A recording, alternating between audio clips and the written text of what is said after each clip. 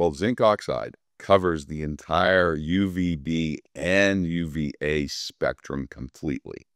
So Huh. what happens is, I mean, up to about 380 to 390 nanometers. At once you get past 390 nanometers, there's no substance known that will absorb or block the UVA. So you're Mhm. not ever going to find anything that's going to completely block or absorb UVA. Zinc oxide, think of it as a little sponge.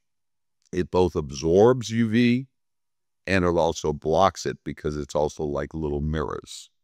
So the Hmm. mineral zinc oxide sunscreens are good.